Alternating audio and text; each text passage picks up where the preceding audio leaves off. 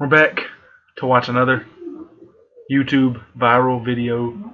This one is another college humor video. It's the ultimate Game of Thrones recap from 10 months ago, but I ain't seen it yet. Nope. We're not even ready. On the We're on the I think about ad. the shape. Ad. I think about color. Let's get the ad. I Let's get the ad. Hey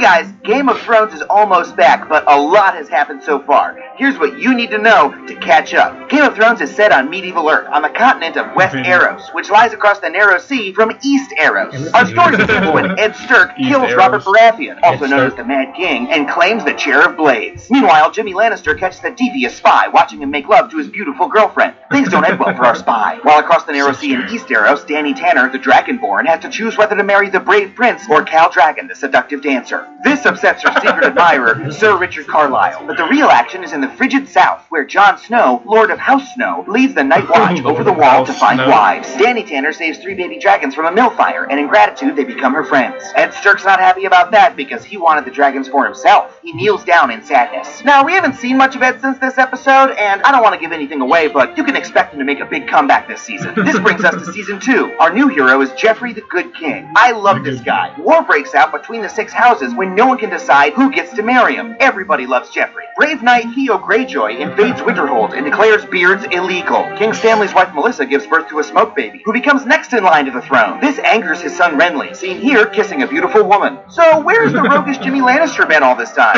Show hasn't said for sure, but if you look at the clues, it's pretty clear he's dead. Rest in peace, Jimmy. And that's great news for 10-year-old Tyrion Lannister, who is bestowed with the hand of the king, giving him the right to marry Jeffrey. Aerys Sturk, the youngest of the Sturk boys, meets a magician and considers a career in the circus. Meanwhile, in Mordor, Kathy Sturk discovers the mastermind behind it all, the devious Lord Aaron, seen here seducing a wench. Back in Tatooine, Danny Tanner's dragon friends go missing. Wow, my dragon! So who took them? Nobody knows, but we have our theories. Oh no. Down in the icy south, Jon Snow has put on a lot of weight. He's so hungry, he Damn, Jon Snow hallucinates and imagines fat. ghosts. That brings us to season 5. Mayor Carcetti exiles Tyrion from King's Carcetti. Landing, and his only friend is the Tyrion. warrior, Madmartigan. Rob Stark gets a traditional Westeros divorce so he can finally live the bachelor lifestyle. Back in Arrakis, Danny Tanner must stop a crime ring that's been cutting people's nipples Arrakis? off. And Jon Snow gets back in shape and has sex with a snowboarder in a hot tub. And in case you were wondering, Nothing you did Yep, he teaches her how to whistle. Now, even if you don't watch Game of Thrones, you've probably already heard of the Red Wedding. That refers to this scene where Tyrion and Sansa get married. Notice those red candles in the background? That's why it's called the Red Wedding. Well, that's everything you need to know to be ready for season 6. A lot of questions still need to be answered, though. Will Aerys succeed in his dream of joining the circus?